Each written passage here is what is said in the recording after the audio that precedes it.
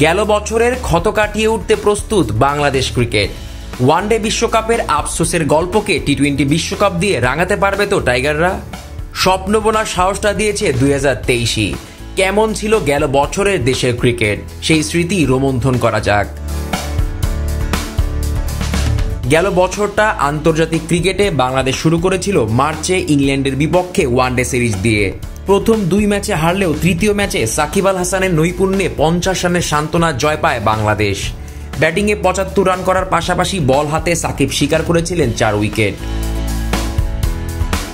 এরপর সাকিবের নেতৃত্বে টি টোয়েন্টি সিরিজে ইংল্যান্ডকে হোয়াইট ওয়াশ করে বাংলাদেশ। সাকিব, মিরাজ, শান্ত, লিটনরা ছিলেন দারুণ ফর্মে। বিশ্ব চ্যাম্পিয়নরা পাত্তাই পায়নি সেই সিরিজে। তিন ম্যাচে একশো চুয়াল্লিশ রান করে সিরিজ ছেড়া হয়েছিলেন নাজমুল শান্ত। ইংলিশদের পর আইরিশরা এসেছিল বাংলাদেশ সফরে। ওয়ানডে সিরিজ সহজে জিতলেও বাংলাদেশের মূল চ্যালেঞ্জ ছিল টি টোয়েন্টি সিরিজে। সেই চ্যালেঞ্জও উতরে যান সাকিবরা। সিরিজ জিতে নেন দু এক ব্যবধানে। আয়ারল্যান্ডকে আতিথেয়তা দেওয়ার পর ইংল্যান্ড গিয়ে তাদের বিপক্ষে ওয়ানডে সিরিজ খেলে বাংলাদেশ। সেই সিরিজে দুই শূন্যতে জিতে যায় টাইগাররা সেটি এই বছরে বাংলাদেশের শেষ ওয়ানডে সিরিজ জয়।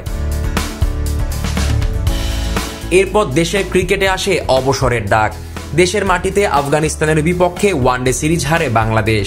সিরিজের প্রথম ম্যাচ হারের পর আন্তর্জাতিক ক্রিকেট থেকে অবসরের ঘোষণা দেন তামিম ইকবাল।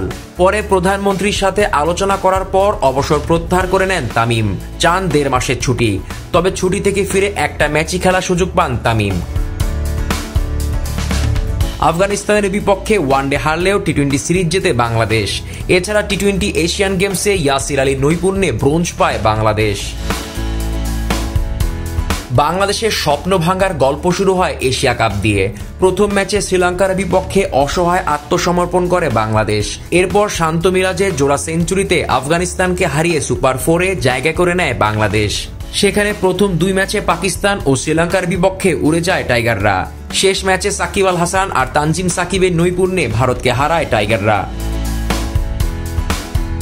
বিশ্বকাপের আগে বাংলাদেশ সফরে এসে তিন ম্যাচের ওয়ানডে সিরিজ খেলে টিম নিউজিল্যান্ড। দুই ম্যাচ মাঠে গড়ালেও একটাতেও জিততে পারেনি লাল সবুজরা। সিরিজের শেষ ম্যাচের দিন বিশ্বকাপের দল ঘোষণা করে বাংলাদেশ। সে বিশ্বকাপের দলে জায়গা হয়নি তামিম ইকবালের। ডাকবান তানজিদ তামিম। দল ঘোষণা নিয়ে নাটক কম হয়নি। তামিম ইকবালকে ওপেনিংয়ে ছেড়ে অন্য অবস্থানে ব্যাটিংয়ের প্রস্তাব দেওয়া হয় বোর্ড থেকে। তা মেনে নিতে পারেননি তামিম। শুধু তাই নয়, প্রস্তাব দেওয়া বোর্ড অফিসিয়ালদের সাথে তামিম জড়ান বাগবিতণ্ডায় এই ইস্যুতে যাওয়ার আগে এক টিভি চ্যানেলে দেওয়া সাক্ষাৎকারে সাকিব আল হাসান। আনফিট হয়ে খেলা দেশের সাথে বিশ্বাসঘাতকতা। ভারতের ধোনির এ মন্তব্য মনে করিয়ে দেন সাকিব। এরপর বিশ্বকাপে প্রথম ম্যাচে আফগানিস্তানের বিপক্ষে শুভ সূচনা করে টাইগাররা। তবে এরপর শুরু হয় ভরাডুবি। পরাজয়ের বৃত্তে বন্দী হয়ে যায় সাকিব বাহিনী। বিশ্বকাপে নয় ম্যাচ খেলে মাত্র দুই ম্যাচ জিতে টাইগাররা। ব্যর্থতার ষোলকলা পূর্ণ হয় নেদারল্যান্ডসের বিপক্ষে সাতাশি রানের পরাজয়ে। তবে লঙ্কানদের বিপক্ষে অবশেষে ব্যাটাররা জ্বলে উঠলে সাত উইকেটের জয় পায় বাংলাদেশ। এ জয় নিশ্চিত করে দুই হাজার পঁচিশ আইসিসি চ্যাম্পিয়ন্স ট্রফিতে বাংলাদেশের জায়গা। বিশ্বকাপ শেষে ঘরের মাঠে নিউজিল্যান্ডের বিপক্ষে টেস্ট সিরিজ ড্র করে টাইগাররা।